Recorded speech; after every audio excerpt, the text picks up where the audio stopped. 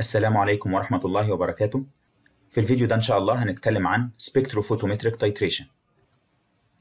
في أي titration ال challenge اللي بيقابلنا دايما هو إزاي نعمل detection لل end point في طريقتين ممكن نعين بيهم ال end point يا إما نعينها visually باستخدام indicator ونعرف ال end point من ال color change اللي بيحصل.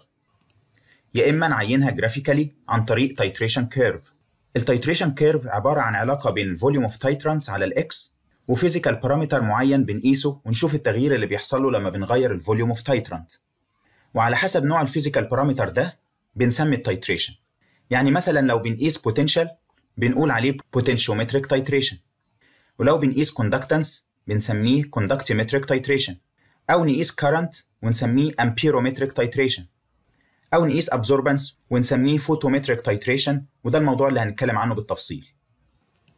يبقى دلوقتي عرفنا إن ال spectrophotometric titration curve علاقة بين ال volume of titrant على ال x لأن ده ال independent variable اللي أنا بغيره بإيدي الأول. وال absorbance على ال y لأنها ال dependent variable اللي بيتغير تبعا لتغير ال volume طالما هنقيس absorbance يبقى لازم نعرف مين هو ال absorbing species اللي لما تركيزه يتغير أثناء ال titration هيأثر على قيمة ال absorbance وده اللي هيحدد شكل ال titration curve وإزاي أطلع منه ال end point ال absorbing species أكيد هيبقى واحد من الثلاثه substances اللي بيبقوا موجودين في أي titration اللي هم ال analyte أو ال titrant أو ال product اللي بينتج من تفاعلهم مع بعض. طيب الثلاثه دول إيه اللي بيحصل لتركيزهم أثناء ال titration ال analyte بيفضل يقل لحد ما يخلص خالص عند ال end point وبالتالي لو هو اللي بيمتص ال absorbance هتبدأ عالية وبعدين تقل لحد ما توصل لل zero عند ال end point والعكس بالنسبة لل product بيبدأ يتكون وتركيزه يزيد تدريجيا لحد ما التفاعل يخلص عند ال end point وتركيزه يثبت. وبالتالي لو ال product هو اللي بيمتص ال absorbance هتبدأ من ال zero وبعدين تزيد لحد ما توصل لل maximum عند ال end point وتثبت. بالنسبة لل titrant ما بيبقاش موجود خالص قبل ال end point لأن أي كمية بتنزل منه بتتفاعل على طول مع ال analyte لحد ما ال analyte بيخلص عند ال end point ويبقى فيه excess من ال titrant وتركيزه يبدأ يزيد. وبالتالي لو ال titrant هو اللي بيمتص فال absorbance هتفضل ماشية على ال zero طول ال titration لحد ال end point وبعدين تبدأ تزيد بعد ال end point اذا شكل ال spectrophotometric titration curve هيعتمد زي ما قلنا على مين هو ال absorbing species عند ال wavelength اللي هنقيس عنده. ودي بنعرفها من قيم المولر ابزوربتيفيتيز للانالايت والتايترانت والبرودكت عند الويف لينث ده. خلينا نترجم اللي قلناه ده في صورة graphs لو ال analyte بس هو اللي ليه absorbance يعني الابسلون بتاعته ليها قيمة أكبر من زيرو إنما الابسلون بتاعت البرودكت والابسلون بتاعت التايترانت بتساوي زيرو فالكيرف هيطلع بالشكل ده. ال absorbance تقل وبعدين تثبت. وطبعا ال end point بنجيبها من تقاطع الخطين هنا. ونشوف ال volume اللي قصادها كام. لو كان ال titrant بس هو اللي بيمتص هيكون شكل ال curve ال absorbance ثابتة وبعدين تزيد بعد ال end point في حالة إن ال product بس هو اللي بيمتص ال absorbance بتزيد لحد ال end point وبعدين تثبت.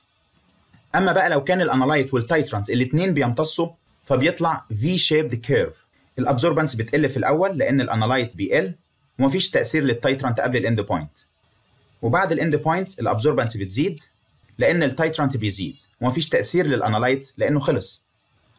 هنطبق على مثال عملي.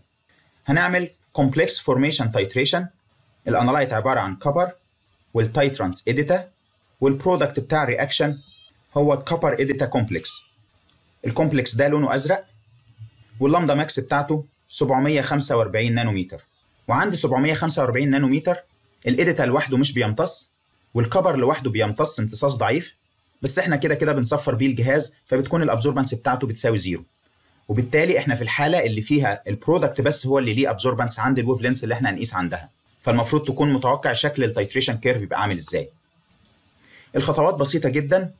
بناخد 20 مللي من ال analyte اللي هو copper sulfate ونحطهم في beaker وبعدين نبدأ ننزل عليهم 1 مللي من ال titrant اللي هو ال EDTA ونعمل mixing كويس ونقيس ال absorbance عند 745 نانومتر وبعدين ننزل 1 مللي تاني من ال EDTA يعني كده نزل 2 مللي. ونعمل mixing ونقيس ال absorbance وهكذا. ونسجل في الجدول قرايات ال absorbance بعد كل ملي بننزله.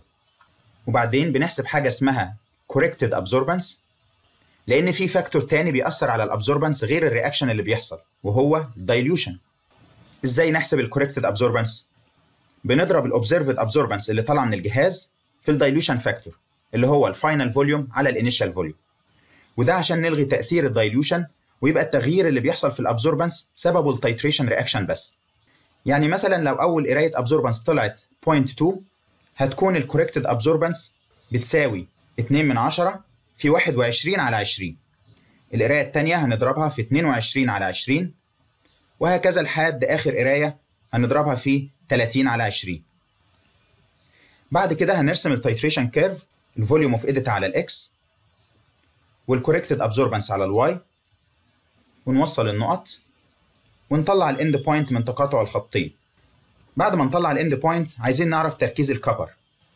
هنعوض في القانون المولاريتي في الفوليوم للكبر بتساوي المولاريتي في الفوليوم للاديتا المولاريتي بتاع الكبر ده الانون اللي إحنا عايزين نعرفه. ال volume بتاع ال copper 20 مللي. ال molarity بتاع ال EDTA هنعوض ب 0.1 molar. ده تركيز ال EDTA اللي بنشتغل بيه.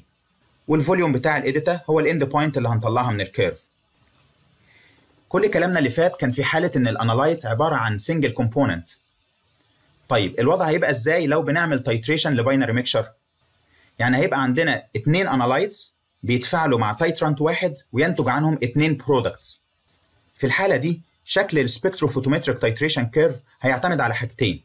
الحاجة الأولى اللي اتكلمنا عنها في ال single component وهي مين اللي بيمتص عند ال wavelength اللي هنقيس عنده. والحاجة الثانية الجديدة اللي موجودة في ال binary mixture هي مين من ال two analytes اللي هيتفاعل الأول مع ال titrant وبكده يبقى خلصنا كلامنا عن ال spectrophotometric titration متشكر جدا ليكم والسلام عليكم ورحمة الله وبركاته.